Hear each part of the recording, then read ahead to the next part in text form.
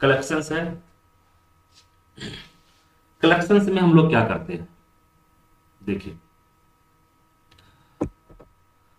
Collection क्या होता है? ये सेकेंड ऑप्शन है आपका कलेक्शन जब आप कोई भी जीआर सेव करते हैं मेमोरी के ऊपर, कोई भी जीआर आप सेव करते हैं मेमोरी के ऊपर तो वो एक फ़ाइल के अंदर जाकर सेव होता है। ठीक है? वो एक फ़ाइल बनाना होता है हमें।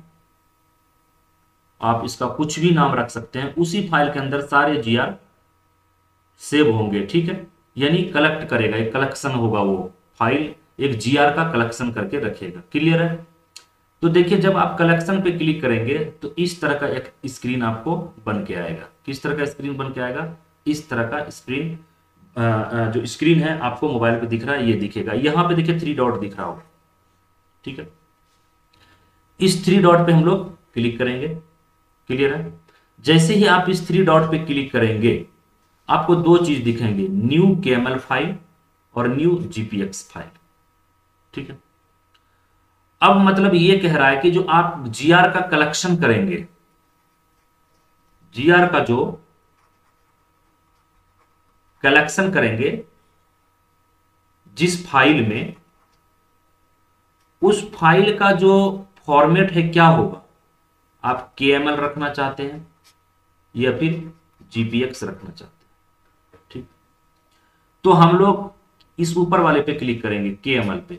के पे क्लिक करने से क्या फ़ायदा आ आएगा ये गूगल अर्थ का फ़ाइल फॉर्मेट है।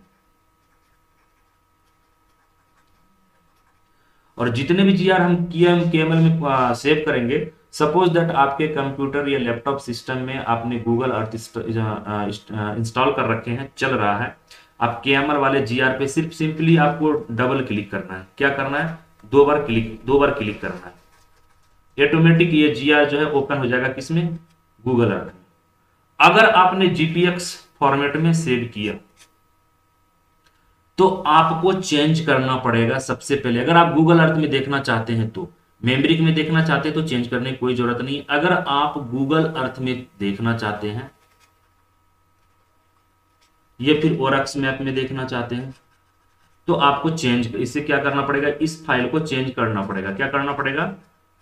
चेंज करना पड़ेगा। इस जीपीएक्स को किसमें चेंज करना पड़ेगा? के अब चेंज होगा कैसे? तो चेंज करने के लिए एक सॉफ्टवेयर आता है जीपीएस बाबेल इसका भी हम लोग कभी क्लास ले लेंगे आपके लिए कि किसी भी ऑप्स प्लान को आप जीपीएस से कैसे आप गूगल अर्थ में देख सकते हैं गूगल अर्थ से जीपीएस में या फिर मेमरिक में या फिर ओरक्स मैप में कैसे देख सकते हैं।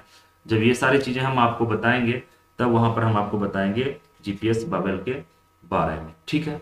तो हम लोग अभी फ़िलहाल के एम पर क्लिक करते हैं। जैसे हम लोग केमल पे क्लिक करेंगे क्रिएट करने के लिए ऑप्शन आता है। क्रिएट फ़ाइल ठीक है? यहाँ पे फ़ाइल का नाम दीजिएगा, हमने रंजन लिखा। फ़ाइल का नाम क्या लिखा? रंजन। और जैसे इसको हमने सेव किया, देखिए अभी पहले क्या था कि यहाँ पे कुछ नहीं दिख रहा था। अभी रंजन डॉट के दिख रहा है। यानी एक फ़ाइल हमारा बन गया, जहाँ पर हम सारे जी जी आर हमारे सेव होंगे और Ranjan dot K M L file के अंदर। ठीक है? और इस के एम एल फ़ाइल को हम डायरेक्ट डबल क्लिक करके अपने सिस्टम पर जैसे ही ओपन होम करेंगे, वो गूगल अर्थ में क्या होगा?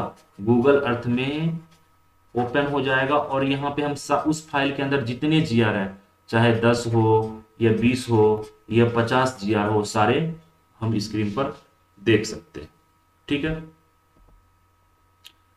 अब देखिए, कुछ एक चीज़ें और। यहाँ पर देखिए, जो तीसरा है ऑप्शन वेब पॉइंट्स का तीसरा ऑप्शन एड मेनुअली यहाँ से हम लोग जीआर फ़ीड करते हैं। लेकिन जो हम लोग अभी कलेक्शन के बारे में सीख रहे थे, उसके बारे में और थोड़ा सा हम आपको बता देते हैं, ठीक है?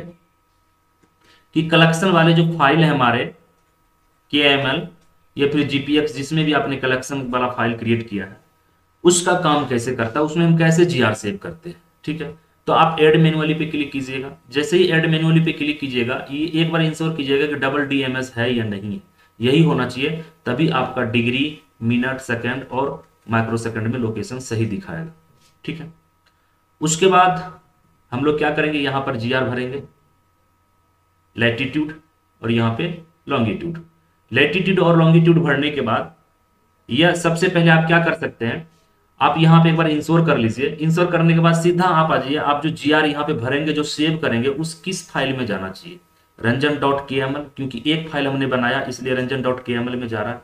अगर वहाँ पे तीन दोस्त हैं या तीन नाम से फ़ाइल क्रिएट करना चाहते हैं के एम एल जीपीएक्स जिससे भी तो यहाँ पे आपको क्लिक करना पड़ेगा। और सारे फ़ाइल दिखने लगेंगे, ठीक है? जैसे हमने और दो फ़ाइल बनाया था, एक रंजन नाम से हो गया, एक एम्बूस के नाम से हमने बनाया है, और एक रेड के नाम से बनाया है।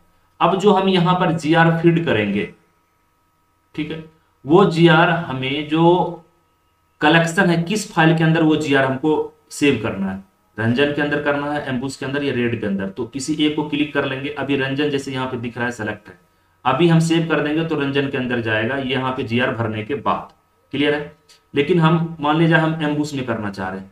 एम्बूस पे क्लिक कर लिए। एम्बूस का मान लीजिए हमने कोई एम्बूस का प्लान किया या एम्बूस का हम जियो जी आर भर रहे हैं, वहाँ पे दस जी आर हमने फ़ीड किया। तो यहाँ जितने भी जी आर हम दसों जी आर फ़ीड करेंगे, यहाँ पे जी आर हम भरेंगे लेटीट्यूड और लॉन्गिट्यूड और यहाँ पे हम फ़ाइल सेलेक्ट कर लेंगे सेव कहाँ करना है। तो एम्बूस हमने कर लिया और यहाँ पे सिंपली हम क्या करेंगे सेव कर देंगे, ठीक है? अब देखिए, सबसे महत्वपूर्ण